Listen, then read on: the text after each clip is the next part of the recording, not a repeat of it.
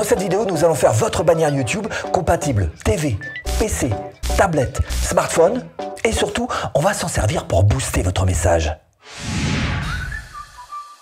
Et hop, on passe en webcam. Voilà, coucou. Hein, maintenant, on filme mon bureau. Hein, on passe en version tuto. Alors là-dessous, je vous ai mis un lien. Vous allez devoir cliquer dessus, histoire qu'on se retrouve tous au même point de départ, qu'on se perde pas dès le début.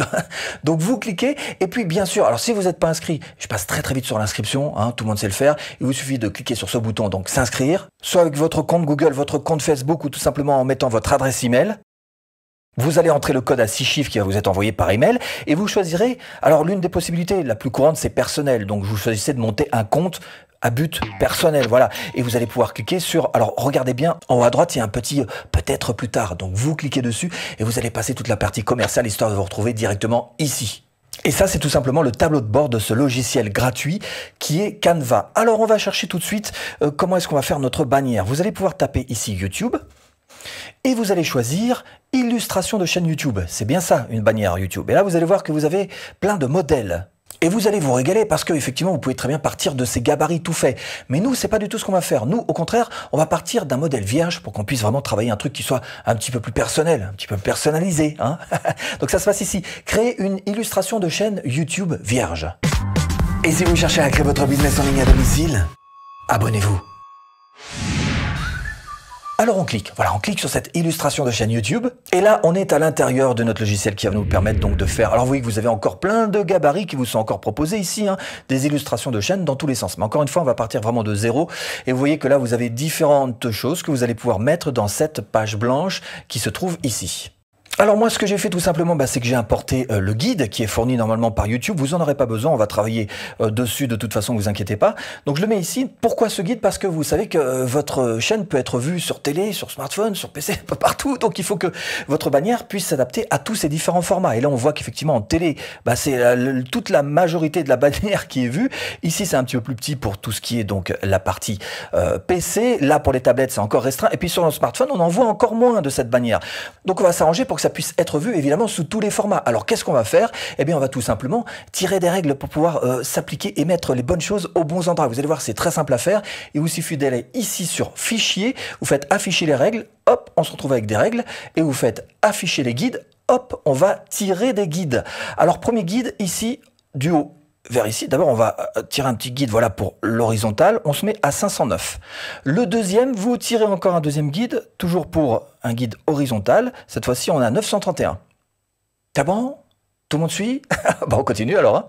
Ensuite, on va tirer des guides verticaux, voilà, pour faire, pour simuler en fait la grandeur d'une tablette. Et puis ensuite, bien évidemment, votre smartphone. Alors les chiffres, je vous les redonne, 351 et ici 2205. Euh, et ensuite, évidemment, nos smartphones avec un joli 507 pixels et ici 2056 pixels. Voilà, on a absolument tout. Vous avez compris que là, on est en train en fait de retracer ce fichier gris qui est le, guide qui est donné par YouTube pour réussir nos bannières et qui soit compatible dans tous les formats. Là-dessus, je vais euh, utiliser, vous voyez, la transparence pour oh, retirer ce fichier, voilà, complètement. Il sera toujours là, comme ça, je l'ai pas perdu au cas où si j'en ai besoin. Et il nous reste ces guides qui évidemment peuvent être retirés à tout moment. Hein, si vous faites, euh, euh, voilà, afficher les guides. De toute façon, même si vous les oubliez jusqu'au dernier moment, jamais ça n'apparaîtra sur votre bannière, on est d'accord, c'est juste pour vous cadrer. Et retrouvez en description de cette vidéo absolument toutes les formations offertes. Et à la fin de cette vidéo, bah, je vous montrerai comment est-ce que vous pouvez vous servir de votre bannière pour booster votre chaîne.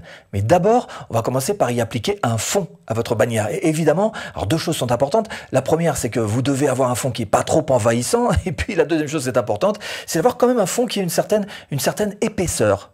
Alors pour ça, très bien, il y a tout ce qu'il faut. C'est ce qu'ils appellent donc des arrière-plans. Donc on va aller chercher quelque chose qui euh, nous plaît dans les arrière-plans. Alors faites votre choix, hein, évidemment. Voilà, moi je vais prendre tout simplement ce fond-là. Alors on va s'arranger pour estomper un petit peu ce fond qui est quand même un petit peu imposant. Je vous rappelle que le but c'est pas qu'on voit votre fond, hein, c'est bel et bien que votre message sur votre chaîne soit mis en avant. Hein. Alors autre chose hein, dans cette vidéo, on va pas chercher à faire une belle bannière. Hein. L'objectif c'est pas ça. L'objectif c'est de vous apprendre à faire une bannière. C'est pas tout à fait la même bah, la même chose. Hein. Ah bah, alors allons-y, vous choisissez donc votre image, celle qui vous plaît, et vous allez lui appliquer une petite transparence. Voilà pour. Oh, alors vous voyez que si je mets totalement blanc, ça a cet aspect. Par exemple, si je mets un petit 10% de transparent, et il y a toujours un petit quelque chose. C'est ce dont je vous parlais il y a quelques instants, c'est-à-dire donner une épaisseur à votre image. Voilà, il reste un petit quelque chose quand même. Alors tiens, si ça vous amuse, vous voyez que vous pouvez euh, jouer ici avec euh, quelques effets, modifier l'image par exemple, et euh, alors ça peut-être pas se voir beaucoup parce qu'il ne reste que 10% de transparent, mais là par exemple, vous voyez que vous avez des filtres qui vous permettent, par exemple celui-ci va donner un peu plus de couleur, voilà, mais là effectivement, comme on est en 10%, ça se voit peu. Enfin, vous voyez que vous pouvez vous amuser à jouer avec voilà, des filtres qui vont changer carrément la vision que peuvent en avoir, peut-être pas sur le fond encore une fois, mais sur d'autres éléments, ça peut vous servir de savoir ça. Et maintenant, eh ben, on va y mettre du texte sur votre bannière. Allons chercher nos textes qui se trouvent ici. Alors maintenant qu'on en arrive au texte, c'est important de vous poser les bonnes questions, à savoir, un, est-ce que vous souhaitez vous identifier ou pas, hein, exister euh, physiquement, et deux, quel est le message que vous allez passer. Donc le qui et le quoi. On va commencer par le qui. Alors bien sûr, vous voyez que vous avez différents types de textes. Soit vous prenez des textes basiques, soit vous prenez des textes qui sont déjà arrangés et qui ont, euh, vous voyez, différentes manières d'être d'être agencés. En tous les cas, nous, on va partir tout simplement euh, sur le, qui. Hein. Donc on va chercher, je vais chercher juste à m'identifier. Voilà, je vais prendre quelque chose de très basique comme ça. Choisir euh, ma propre typo, ma propre police d'écriture. La mienne, en tous les cas, c'est Reloway. Choisissez une police d'écriture qui ressemble à ce que vous faites. Hein. Partez pas dans des trucs qui qui, qui sont pas du tout cohérent avec ce que vous pratiquez sur votre chaîne YouTube. Hop, voilà ce que je fais. Alors avec les petites poignées, vous voyez que vous pouvez euh, vous amuser un peu. Alors, je vous rappelle que c'est cette, cette c'est ici hein, qui est important là. Cette partie-là, ça correspond au smartphone. Donc il faut que l'essentiel soit dans cette partie-là, cette partie smartphone. Alors là, je suis peut-être un petit peu faible sur cette écriture. Je vais la mettre en, en gras. Voilà. Ici, vous voyez que vous avez tous les éditeurs classiques avec des listes à puces, des centrages, des italiques. Bref, animé, ça c'est pour faire des choses un petit peu plus animées. Mais nous, on va pas faire ça. Une bannière, elle, elle reste fixe, elle n'est pas animée. Vous pouvez très bien importer des éléments. Vous voyez que par exemple, vous faites importer, importer des médias. Moi, j'ai déjà importé mon logo, donc je peux très bien ajouter mon logo. Hop, bon, je vous passe les détails d'arrangement de machin. Voilà, une fois que c'est en place, eh bien, on va pouvoir continuer de s'identifier en mettant, par exemple, toujours pareil. Hein, vous pouvez importer le média depuis votre bureau, importer une photo de vous, par exemple, qui pourrait vous représenter, et puis ne pas hésiter à la mettre sur votre bannière. Là aussi, là, je vous passe quelques petits détails, sauf peut-être ces deux-là qui sont importants. C'est que sur cette photo, vous voyez que j'ai mis un tout petit peu de transparence 70. Pourquoi est-ce que j'ai fait ça? Parce que ça l'intègre à la photo. Ça fait moins euh, collage euh, maternel, des bouts posés sur des bouts un petit peu plus professionnel, d'accord? Et puis, en ce qui concerne euh, le traitement de l'image, là aussi, j'ai fait un modifier l'image et j'ai été chercher, voyez, un, un, des filtres qui se trouve ici, voilà, pour essayer d'arranger un tout petit peu l'image, encore une fois, que ça fasse un petit peu moins brute. Donc pour la partie qui de votre bannière, vous voyez que là c'est fait, il n'y a pas besoin de beaucoup plus. Hein. Ma photo, le contact, je rappelle qu'on est des êtres humains, qu'on a besoin de se mettre en contact visuel les uns avec les autres, ça passe par les yeux, donc c'est important d'avoir une photo. Et en gros j'explique en trois mots, voilà ce que je fais, qui je suis, Ensuite, il va falloir passer au quoi. Quoi? Que fait cette chaîne? Ce que vous faites. C'est important parce que ça permet aux gens, de, encore une fois, de se situer et puis ça vous permet d'attirer les bonnes personnes. Alors vous allez pouvoir aller, euh, par exemple, bah, on va retourner dans les textes. Tiens, voilà, c'est très bien. On va pouvoir ajouter encore un titre. Cette fois-ci, on va définir ce que fait notre chaîne. Là encore, je vous passe tous les détails. Hein, trouver la bonne police, la bonne couleur, euh, tirer les cadres pour placer tout ça. Alors pour mettre une, une typo comme ça alignée sur la gauche, c'est ici. Hein. Vous voyez que vous avez possibilité sur la gauche, possibilité sur le milieu, possibilité sur la droite. Donc voilà. Donc là, on se met sur la gauche, c'est clair. Donc si vous avez un genre de slogan ou une phrase qui définit exactement ce que vous faites sur cette chaîne, c'est bel et bien là qu'il faut le mettre. Là, on a une base qui est relativement brute. Maintenant, on va essayer d'arranger un petit peu tout ça et euh, d'amener un petit peu plus de, de personnalité dedans.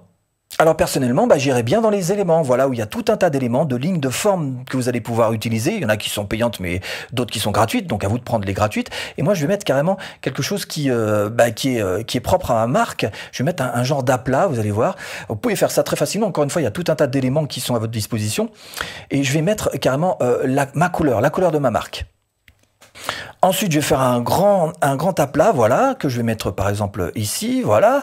Je vais le tourner un petit peu, en me servant de cette poignée. Voilà, je vais le mettre à peu près à la moitié. Donc ça, effectivement, ça rappelle mes couleurs. Donc c'est plutôt euh, important. Je peux peut-être voir un peu de transparence, pourquoi pas, pour aller chercher euh, euh, de l'épaisseur. Mais vous voyez que je perds ma couleur. Donc je vais vraiment le laisser à fond, voilà, comme ça. Et ce que je pourrais faire aussi, éventuellement, pour essayer d'agrémenter tout ça, c'est aller chercher toute cette partie-là, la mettre en blanc. Voilà, on peut jouer avec les couleurs même sur les textes, voilà, pour avoir quelque chose qui soit un petit peu plus travaillé, disons.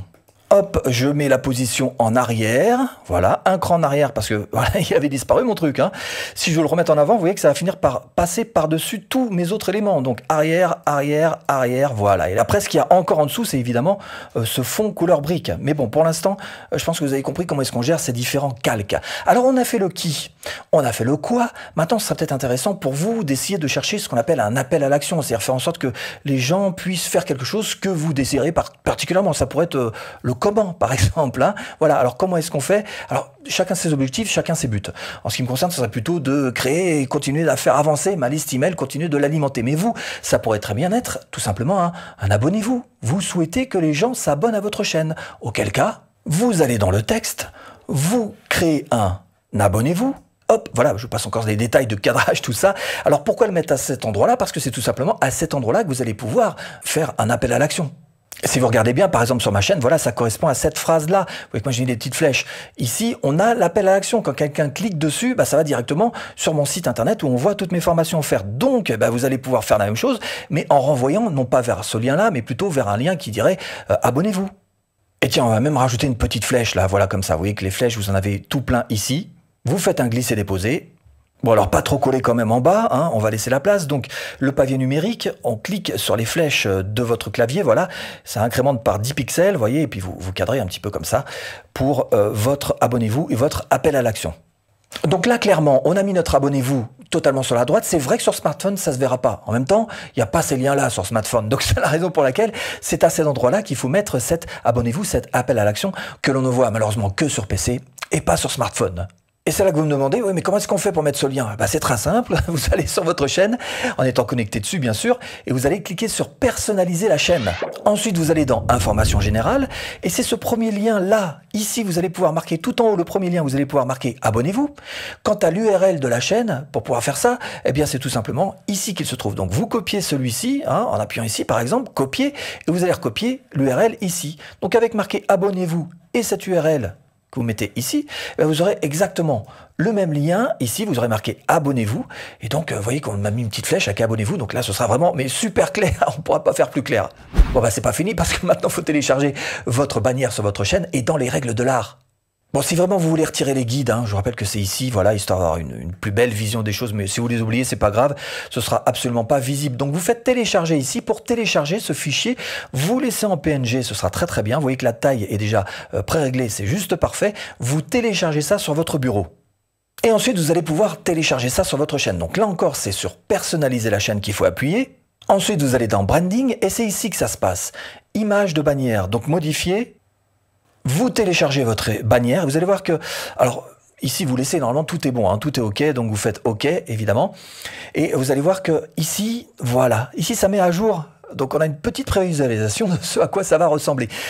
En tous les cas, quoi qu'il en soit, vous pouvez faire ces essais-là tant que vous voulez, parce que tant que vous n'avez pas appuyé sur publier, cette nouvelle bannière ne viendra pas se mettre sur votre chaîne. Et si vous voulez aller plus loin et vivre de votre chaîne YouTube, eh bien je vous mets là-dessous ou en premier lien de description une formation offerte. A tout de suite et tu cliques.